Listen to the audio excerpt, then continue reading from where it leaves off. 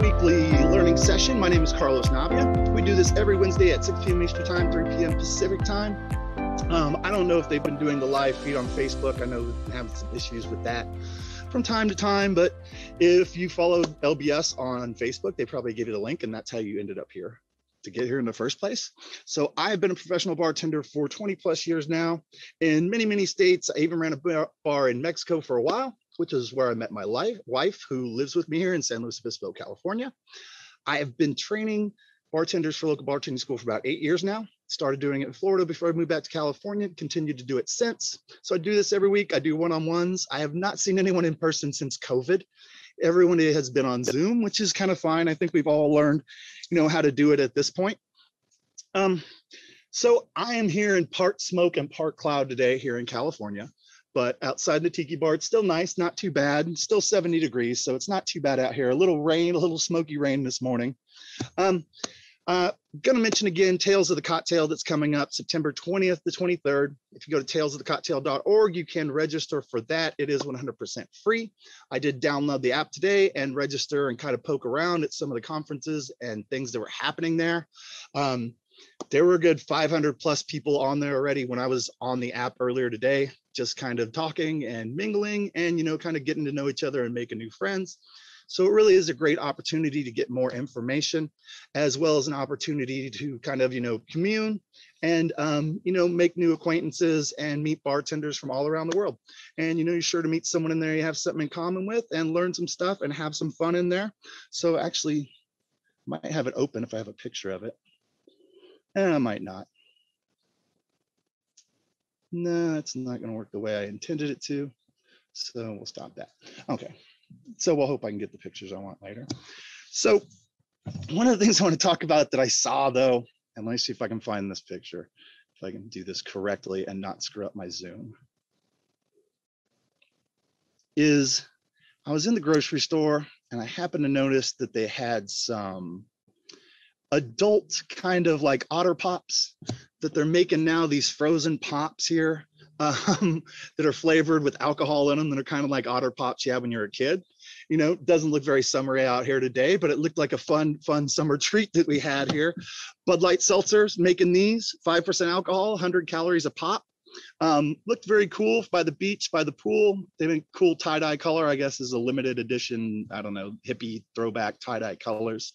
But the other ones I saw that I thought were really interesting were these guys here. If you guys don't know Cutwater, they make uh, cans of Moscow Mule, margarita, stuff like that, basically stuff already mixed in the can. Well, they've done the same thing now with popsicles. So you can have a Moscow Mule popsicle or you can have a margarita popsicle, anything like that, which I thought was cool as well. Truly's also making some, um, you know, with their hard seltzer flavors or their hard lemonade flavors. But this one I saw and I, I want to kind of find these if I can, but they looked really expensive. So I don't know if anybody remembers push-ups uh, kind of an ice cream and you would push it up from the bottom and just kind of eat it. And as you ate it, you would push more up through it. Well, they're making these now, Buzz Pops, uh, all kinds of different flavors, 10 to 15% alcohol. Um, looked very cool. I would love to try them. But in the article I saw them in, I believe it said that they were charging $75 for a 12 pack Jeez. of these, which seems quite high. I was like, I got to find something. I'm like, well, maybe maybe I could make something of my own at home for less than that. Um, I'm sure I could find a, a popsicle mold or something, uh, you know, and and figure out my own way to make something like that because that seems a little exorbitant for something. But they looked like a cool thing. They looked like a fun thing to have for the summer. You know, summer's not quite over yet. Um, my only kind of question, my only concern is, I don't know if anybody else remembers eating otter pops, but they kind of have some shanks on the edge of them and you end up with otter pop sores in the corner of your mouth. And I'm just wondering if they figured out a way around that because that would be the killing point on those, like right away. You know, the buzz pops, the Cutwater cocktails would not be so fun if they were doing that, just like the otter pops used to do too, you know, back in the day. So I just wanted to kind of share those and anybody's interested in those, go check those out. Or if anybody's tried those, let me know, send me a shot on Facebook or something. Let me know how they are because I haven't tried them yet. Um, I realized that I haven't really ever talked about beer on a Wednesday, which is odd because I love beer. I used to drink quite a bit of beer. I have a beer fridge that I can reach without getting out of my bed. Um, although it doesn't have a lot of beer in it anymore, not like it used to. Um, you know, it, it, it's it's kind of always been my thing. I've always been into it. You know, my first real job when I was 16, a junior in high school, was beer van guy at a water park in Southern California. Um, and I only got that position by relentlessly badgering my boss into letting me do it one day because uh, I wasn't 18, I wasn't supposed to do it, but I would just, you know, I look 18, I would just badger him. Well, counting money in the morning and counting money in the evening, he pretty much just had to listen to me for 20 to 30 minutes, badger him continuously. When am I going to work the beer van? You're not old enough to work the beer van. I pour beer in other, in other bars, though. I pour beer in other stands. You're not old enough to work the beer van. But I look like I'm 18. You're not old enough to work the beer van. When are you going to let me work the beer van? This went on for a couple weeks. Finally, he gave me a chance to be beer van guy. I sat in front of a Bud Light van pouring beer. The Beach Boys played behind me in a pit. I made $125, I think, which was great for a 16 year old because the rest of my friends bagged groceries.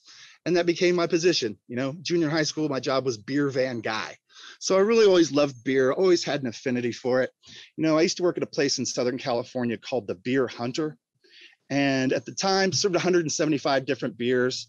You know, at the time, these people actually ordered, uh, opened I think four or five different locations that all kind of looked like this, you know, 50, 60 TVs, pool tables, 35, 40 beers on tap, good bar food, stuff like that. You know, eventually they sold it off. Um, I don't think they managed it into the quite the uh, Buffalo Wild Wings corporate system they were going for. Ended up selling all but the original restaurant, um, which is still there in La Quinta and still the Beer Hunter to this day. If anybody ever goes to La Quinta, California, you're welcome to stop by the Beer Hunter and check it out. They've got a lot of great, great stuff. But I learned a lot about beer, you know, working there. And one of the best things about it was I got to try a lot of different beers. Um, you know, that was quite a while ago. I can't say I really remember how every one of them tasted because I would just try a different beer, you know, every day kind of after work. But you know, the beer landscape has really honestly even changed a lot since then. Um, you know, two two big companies kind of kind of changed everything for for everybody. Um, for a long time, you know, it was the macro brews, it was the Budweiser, Coors, Miller. Um, coincidentally, none of which are owned by American interest anymore. Uh, they're all owned by European companies now, so they're really not even American beers anymore, which is kind of odd. but you know, beer goes back basically to nomadic tribes that figured out that how to ferment you know different grains and barleys and stuff that they would find. Um, and then it was a big part you know different kinds of ancient cultures. Um, babylonians had i think 20 different recipes for beer. Um, you know what i also think is funny is you know at that time back then uh, people would only drink beer and not water. Because if you drank the water you would get dysentery and die. But if you drank the beer you would be fine now, eventually, people figured out by boiling the water, you get rid of the bacteria that causes the dysentery. Um, I'm not going to say they understood what dysentery is. In fact, I'm not going to lie and say that I really know what dysentery is, but I know it'll kill you if you find it in the water. So eventually, figured out through the boiling process of making the beer, they were getting out the contaminants, and they figured out you could just boil the water and drink the water. But up till that time, it was a thing. Water, you want to die? Have a beer. Come on what's wrong with you? Are you, are you, you know, you crazy?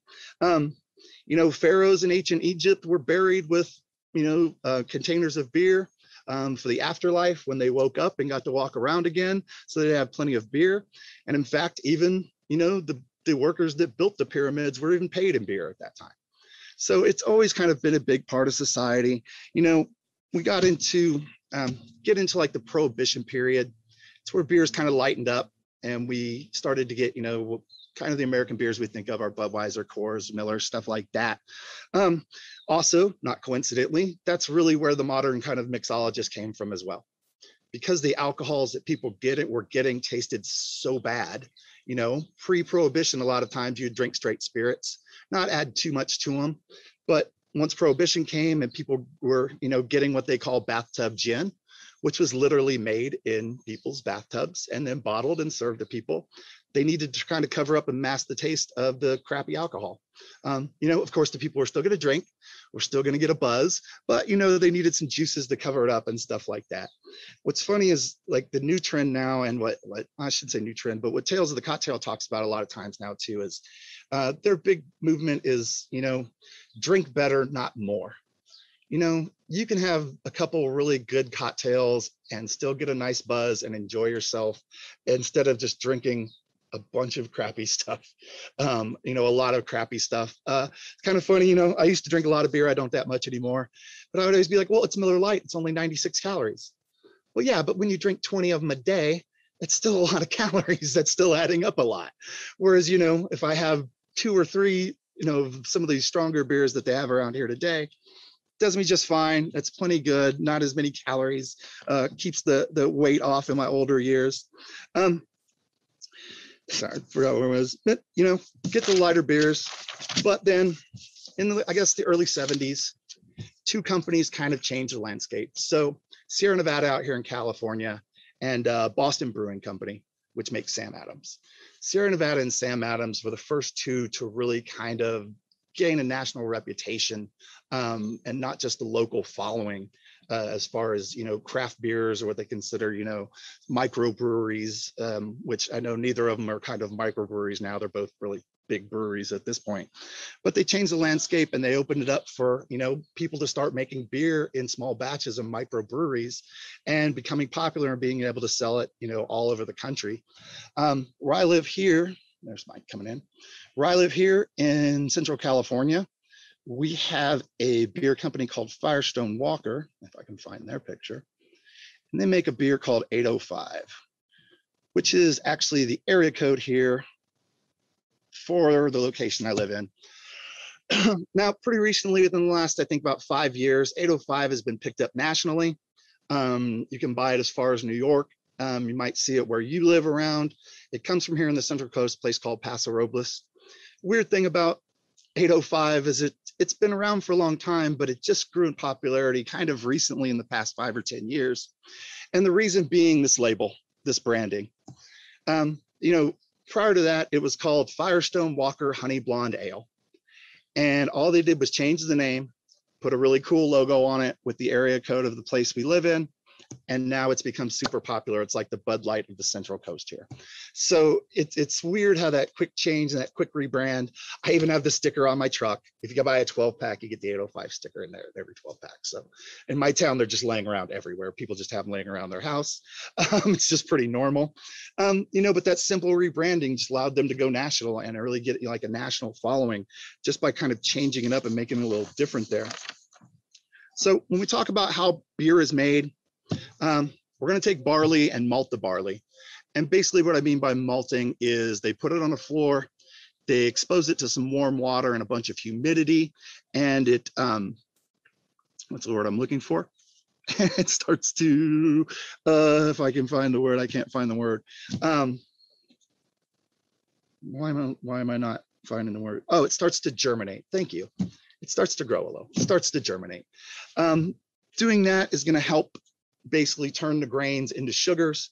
Then when we add the yeast to is going to process it, turns it into alcohol, turns it into carbonation.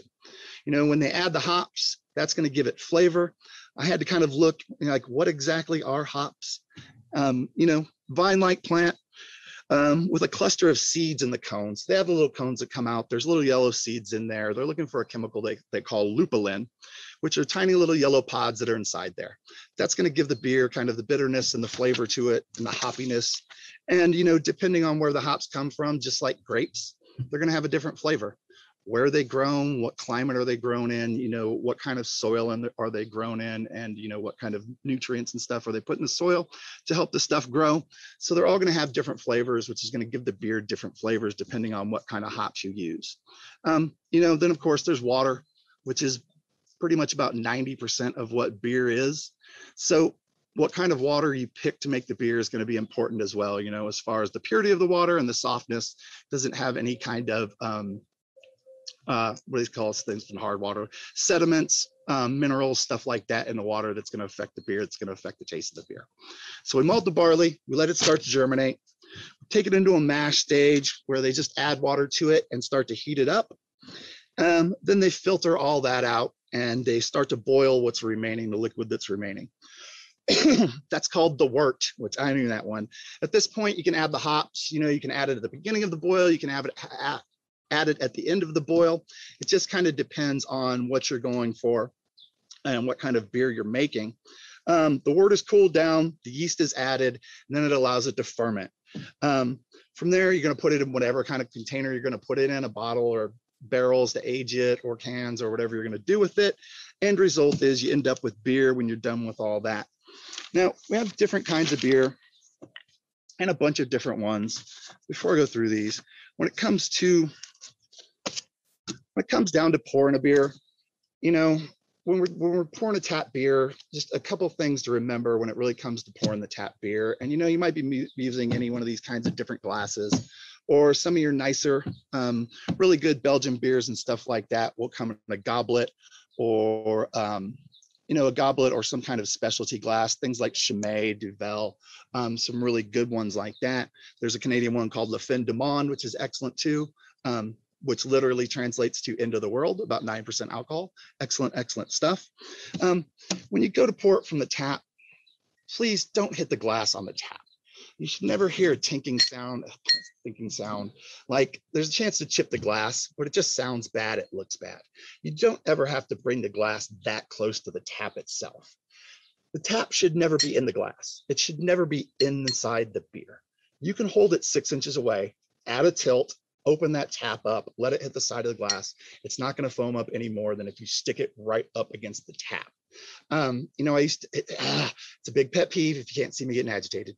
Um, you put that tap into my beer, that's disgusting. Okay. I used to have a boss that called it snorkeling. And what happens is every time that tap goes into beer, more foam sticks around the end of it. All right. And then it gets dirty and then you stick it in another glass and more foam sticks there and it gets dirty. And what happens is the same people that do that are the same people that never wipe those taps off and they get disgusting and they get nasty and they get dirty. Um, you know, I, I've seen this, I've done this in places and I've seen it on Bar Rescue too. That's where I actually got it from. But I've seen people do it a long time before that actually. You can go to a lot of places, take a white bar napkin, wad it up, stick it inside the tap and pull it out and see what's in there. Um, fair warning though, you can't unsee what's in there. Like once you've seen what a lot of taps look like and how disgusting they are, you you'll never want to drink tap beer again. You'll only like go for bottles ever and ever again. Um, you know, it is the job of your distributor to come and clean your tap lines out to make sure that they are clean and that's not happening. Uh, they are supposed to do it once a month. If you have their handle on their label, they're responsible for that line and they should be doing it. I know where I live now here that that doesn't happen a whole lot. Um, one of the places I worked at the country club here, we had eight lines and four of them were the same company and they only, they were the only four that got cleaned. At one point, I finally made the suggestion that we just change the four tap handles every month so that they would clean four lines one month and then clean four lines the other month. And we just wouldn't tell them that they were cleaning all eight lines, uh, which we did and worked out pretty well.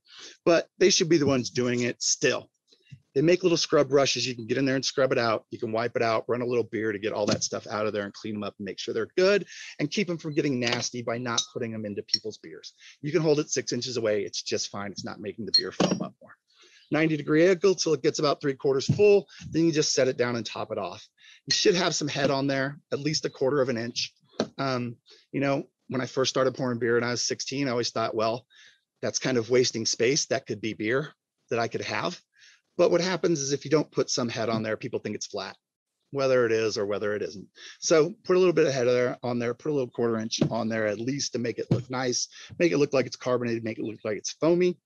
Um, another thing, and I'm surprised I have, I'm surprised I ran into people that do not realize this. We're working with tap beer, dealing with tap beer. Uh, kegs have to be kept cold. Okay, you cannot leave kegs out at room temperature. If they get above 40 degrees, they will spoil and they will be disgusting and it'll be a bad keg. Um, very surprised that I've seen that done and a lot of people don't know that. Um, I used to have kids in high school argue with me about it, saying we drive by the water park and we could see them sitting outside. I'm like, those are the empties. Like I'm the one that does, it's my job. What do you think? I don't know. Why would you think by driving by? You know more than I do. I pour it for a living. Um, you know, so it's funny, keep them cold You cannot let it get above 40 degrees. It will spoil it, will make it disgusting. The other kind of tap you run into that's a little bit different though is if you have Guinness and if you have real Guinness on tap. Because Guinness is pumped with nitrogen and it builds instead of just um, the CO2 that the regular beer is pumped with. It kind of has a little different way to it. And by I say build, when you put it in the glass, it'll be gray. You'll see stuff moving. Eventually, it'll turn black all the way up to the top. So when I go to pour Guinness, you don't even really have to tilt the glass. You can if you want to. The thing about a Guinness tap is it goes forward 90 degrees. It comes goes forward 90 degrees, it comes backwards at 90 degrees. So it has 180 degree range of motion. Pull it all the way forward 90 degrees, put the cup under there, fill it three quarters, turn it off. Let it sit there for 90 seconds. It's going to take a little while for it to build up and for the whole thing to turn black, but you want to wait for the whole thing to turn black before you top it off. People that drink Guinness know this. People that drink Guinness are going to wait for it when I used to drink Guinness, I would start to order another one when I got that far down on this one so that I knew it would be ready by the time I finished this one. So people know, take your time, let it build up. It'll have a nice, creamy, thick head on it at that point. At that point, I can take it, push the hat, tap handle slightly back, and just let a little bit out to top off the Guinness. Now, if you want to get really, really creative, you can push it back, a little bit will come out. And because you have a thick foamy head on the top, you can kind of make designs uh, if you do a figure eight and then come back and do half of another figure eight, you can make a little clover leaf on top. Um, I can make all kinds of weird things that I won't mention on this show, um, depending on who comes to my bar. But you can have some fun with it, write some stuff on it, make some cool designs on it, stuff like that. So if you are working with Guinness, that is the right way. That is the right way to pour it. Guinness is very, very good if poured correctly. I'm gonna grab some Powerade. Yeah, little shamrock on top. Yep, yep, and it looks very cool. You know, I've seen some people try to do some other things too, like drip some green crème de menthe or something on there, which I don't really like on the Guinness. Irish coffee though, you put the whipped cream on the Irish coffee. If you come back and drip a little crème de menthe on there, that's a nice touchdown. Looks very cool, um, as well as you know, not really affecting the drink. Maybe it's going to give it a little bit of minty flavor, which is not really going to hurt it at all. Worst Irish coffee story ever. Woman came back up with two Irish coffees, looked at me and said, I can taste that this is not decaffeinated coffee you used in these two Irish coffees. And first of all, caffeine has no flavor, so you can't taste it, number one. Um, second of all, even if it did have a flavor, there is still caffeine in decaffeinated coffee. So you would still taste it in there anyway. Number three, there's no way you could taste it, even if you could, over Bailey's whiskey and whipped cream. So I just thought I'd share that because that popped into my head as I got on the Irish coffee.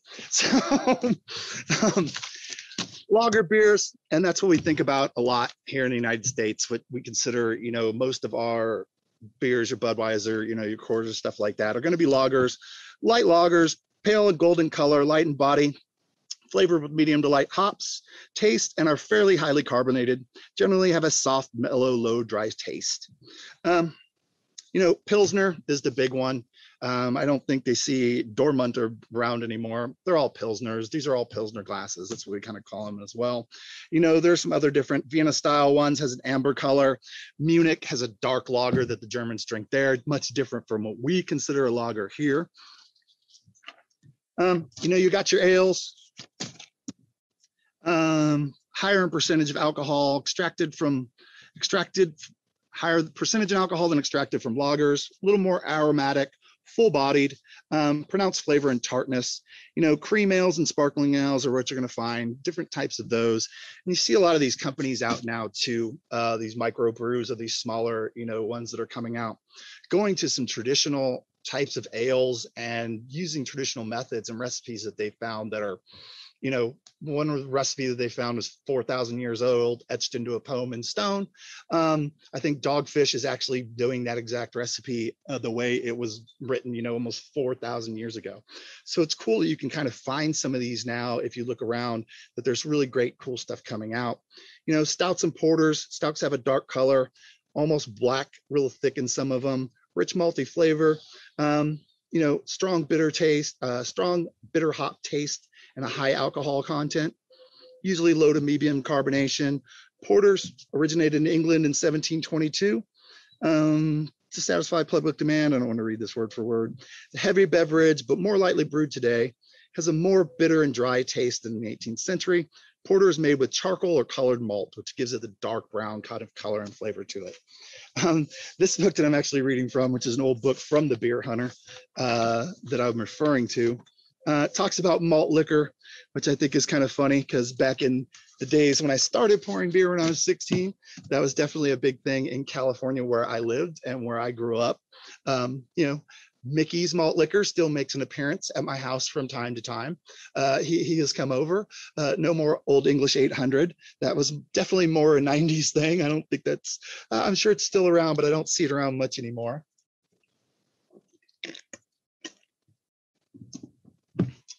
Um, and, and oh, there were other malt liquors of the time, but I won't go too too deep into those and uh, my childhood and upbringing.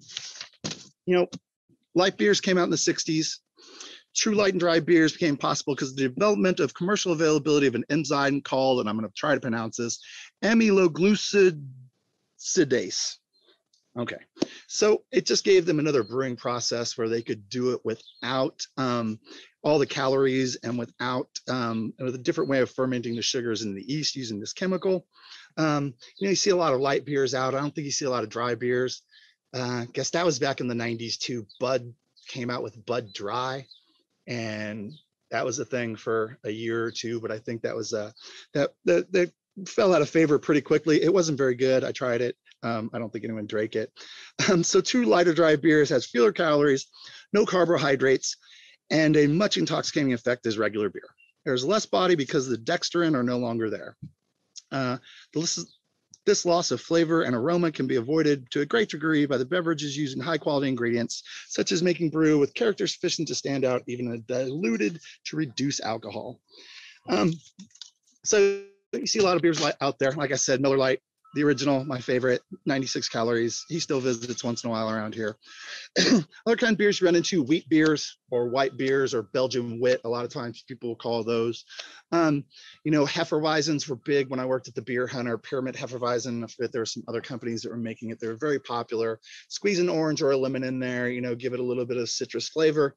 Um, I eventually had to lay off the Hefeweizens when I found out how many calories were in each pint. Um, let's just say it's a lot more than Miller Lite. Um, probably five, six times more than Miller Lite in most pints of Hefeweizen. Um, you know, good wheat beers. The other one you see Belgian wit a lot. And of course, there's one that's real popular here made by the Coors company called Blue Moon, which you probably see around a lot of places. Uh, it's made in Colorado. It's not a Belgian beer. It says Belgian style white beer right on there, style being the key word. Um, but, you know, still kind of made in the traditional way that they made, you know, the Belgian wheat beers for a very long time. Um, you know, you got your brown ales, which are kind of, I shouldn't say making a comeback, but, um, you know, popular in California. Uh, there's a couple, one called Davy Brown, one called Downtown Brown that are real popular from some LA breweries that are down there. You know, um, deep copper brown color, dry sweet maltness dominated with very little hop flavor or aroma. Fruity buttery flavors are appropriate. Yeah, not very hoppy, really smooth, dark, good flavor to them. And of course, what's all the rage around here is IPAs. IPAs, Indian Pale Ales. Indian Pale Ale has a high alcohol content, high hoppy rate. This pale, deep color, deep copper colored ale has a full flowery hop aroma. The use of high water mineral contents contribute to the dry flavor of the beer. IPAs are characterized by medium maltness. So that's a traditional IPA, but what we have around here a lot are, um, oh God, what do they call them? West Coast style IPAs. I think that the main characteristic in that is they have a little bit of fruitiness to them. Um, you know, you get some fruit flavors and some other things in there. So they're a little sweeter and a little lighter than a traditional IPA would be. Um, you know, the new kind of trend that's very recent is hazy IPAs or unfiltered IPAs. Let me see if I got a picture of this guy. There he is. So something like this guy, this is made by the same company that makes 805 Mind Haze IPA. Really hazy color because they're not filtering out everything um, like they are with the regular IPAs and with the regular beers. So um, you know, regular golden amber color, but you can't see through it. It's like opaque. It's not clear and golden. So becoming a new trend, kind of the big thing. The other thing is that they have around here where I live in California, a lot of is what they call double IPAs. And when you run into guys like this that are 9% or higher alcohol, you know, beware. This is actually their double IP that's hazy as well, that's unfiltered. I think this one's 9.2%, um, you know, compared to a Miller Lite that I only think's about four or 5%, you know, that I usually drink. So it, do, it doesn't take a whole lot of those uh, or something like that to get you going, kind of what I was talking about. Um, there's one out here called Lizard Mouth. I didn't get the picture of it. You know, just beware. Um, you forget that they're not your regular IPA, you forget that it's not your regular beer. They do sneak up on you pretty quick when it comes to those double IPAs. You know, got American Pale Ales, and that's kind of what I was talking about there. Although there are some other ones that are made, which are very popular. Sierra Nevada, of course, which I mentioned earlier, being one of those. National bitters, Scottish ales, blonde ales, like I just mentioned, the uh, you know 805, the honey blonde ale. You know, golden ales, pale blonde by pale blonde variations of a classic pale ale. However, golden ales more closely approximate a, lar- a lager in its crisp, dry palate. Noticeable floral aromas and light body.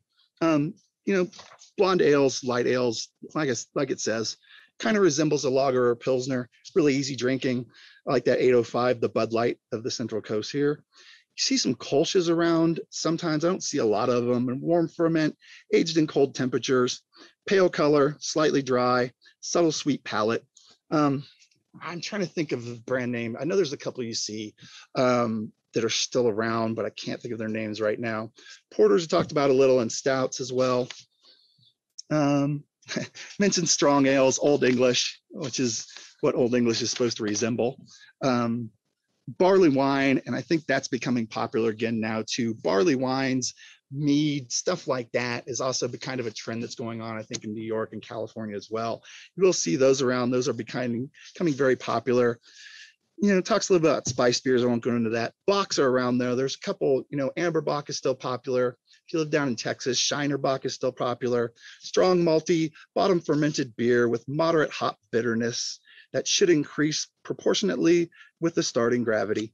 You know, can range in color. Most of them are deep and dark. Um, I like a good Bock beer. I think it's excellent as well. Doppelbocks, I don't see a lot of those around anymore. You know, amber ales, dark lagers. I'm not going to read this word for word and go into them. American light lagers, I talked a little about. Dry lagers, American malt liquor, Mickey's, bless its heart, and your German wit beers, you know, and your Belgian wit as well, your wheat beers that you're going to have and come into contact with. You know, the other thing when it kind of comes to beer, and storing the beer, like I talked about the kegs, is to make sure that beer is not stored in, in sunlight. Um, you know, you can skunk a beer, which just means it's exposed to the light and the light will change the flavor of the beer. Uh, you know, the reason it's put into green and brown bottles is to stop the light so that the light won't hit it and destroy it. And, um, you know, what they call light striking. Um, you know, destroying the beer. Um, if you've ever got a skunky beer, it is really horrible. Um, there used to be an old Keystone Light commercial, of bitter beer face. Um, that is literally the face you will make when you get a nasty or skunked beer like that. You know, that being said, beer in the bottles and cans, as long as it's step, kept in a cool, dry place, you know, it can keep for a very long time. Um, the fact that it's already carbonated allows it to be kept at uh, room temperature, whereas the kegs are not. They do not have the pressure in there or the carbonation already in there that's acting as a preservative and maintaining the beer. So I have personally, you know, as long as it's stored properly, if it's stored outside, if it got hot, if it's stored in the sunlight where the sun can hit it, it's going to skunk the beer. It's going to be nasty stuff. But I have personally drank beer that sat in the walk-in cooler of a nightclub while it was closed for a year.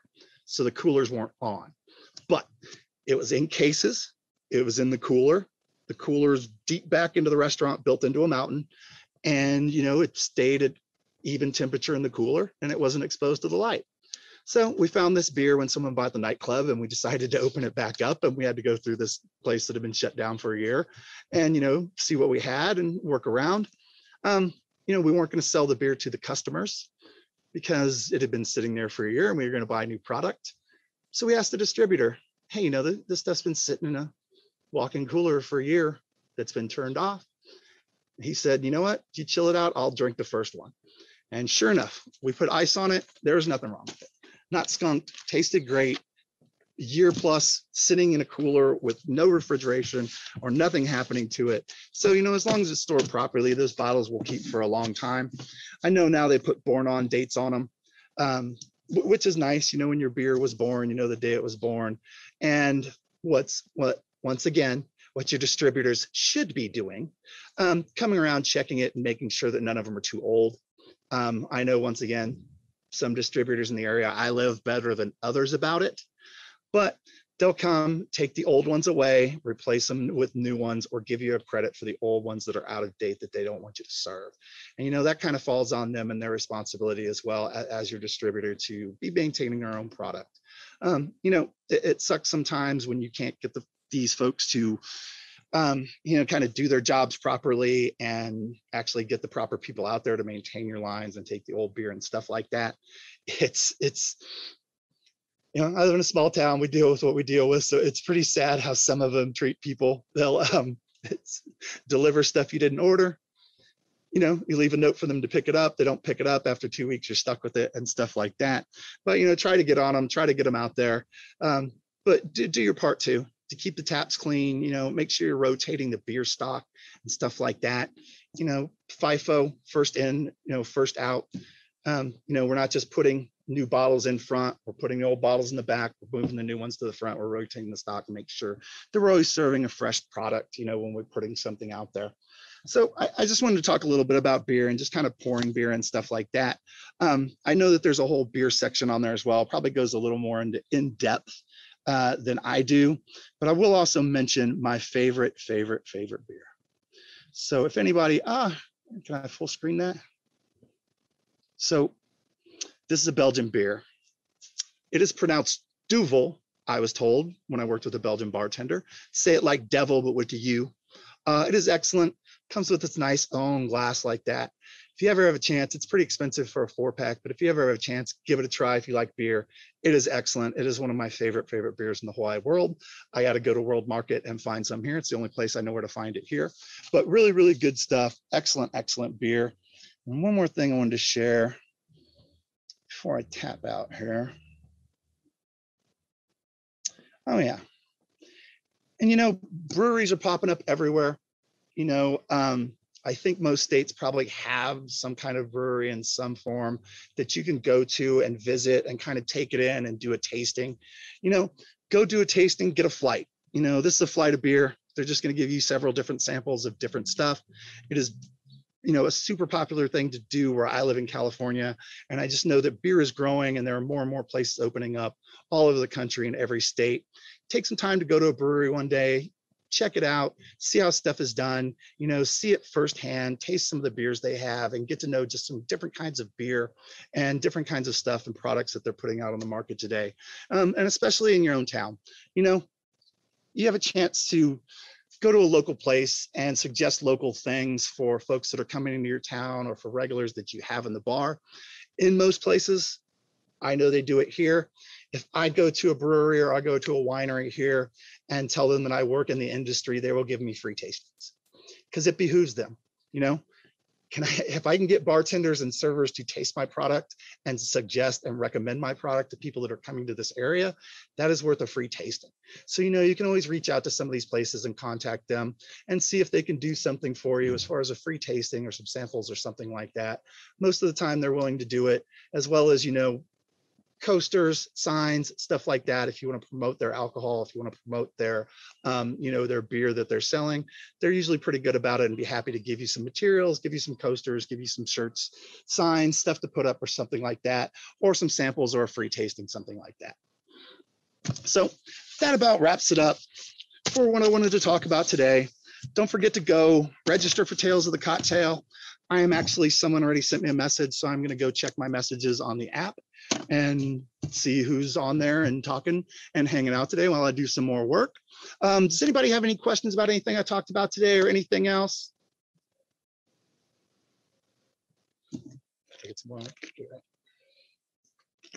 All right, then. Thank you, everybody, for showing up today. I do appreciate it.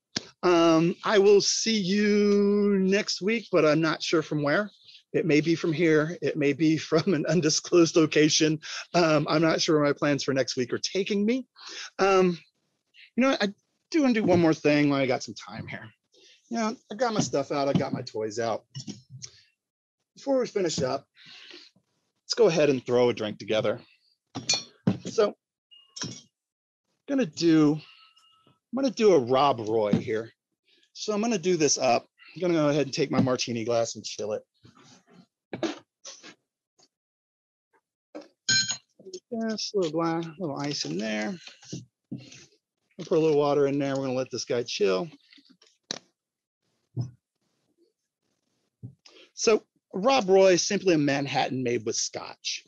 What I'm going to do here is what's referred to as a perfect Rob Roy or perfect Manhattan, which, you know, someone asked me for a perfect Manhattan. They're not asking if you make the quintessential Manhattan, the best Manhattan ever. What they're asking for is a Manhattan with both sweet and dry vermouth. So got some stuff that kind of looks like Dewar's here. So we're going to pretend is actual Dewar's here. I'll throw a little bit of ice in here, out here in my tiki bar.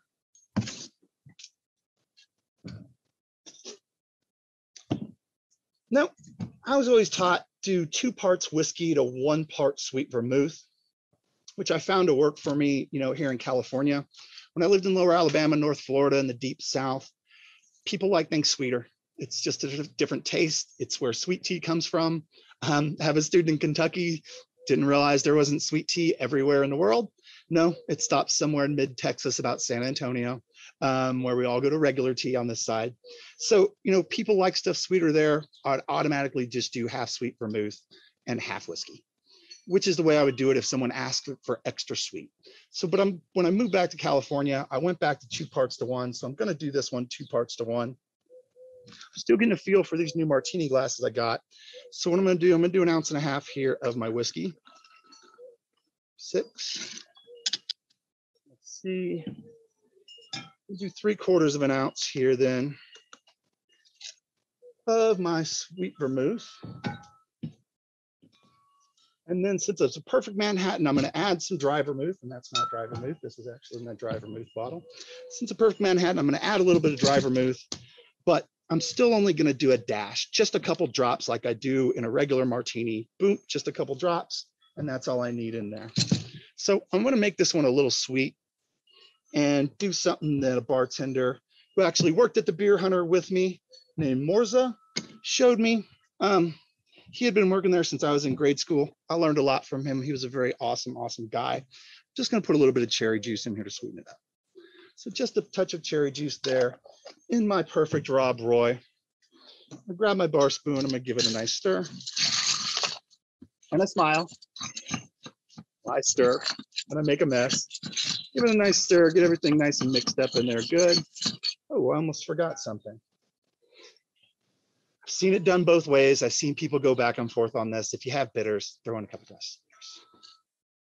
Boom, there. Now we're ready to go. Wipe this up. And we'll get a nice stir here going. We're just stirring it to get it chilled, but not break the ice up in there so that we're not watering it down as much as we would if we were shaking it up. I'm gonna throw my ice out here. Try not to break another martini glass back here. Set my martini glass down like this, grab my screen, put it in place, and strain my nice Manhattan out there. A little shake. A little more drips out every time. Come back here, garnish it with a cherry. Boom. Always serve it with a napkin. Bam. There is our perfect Rob Roy ready to go. And you're all set. All right. So thank you everybody for showing up. I do appreciate it. Um, not sure what the topic's going to be next week because I'm not sure where I'm going to be. And depending on where I am and what I have going on, it may be something that has to do with where I am and what I have going on. Otherwise, if there's no questions, thank you everybody for showing up. Uh, have a great week. Stay safe, and I will see you all next week.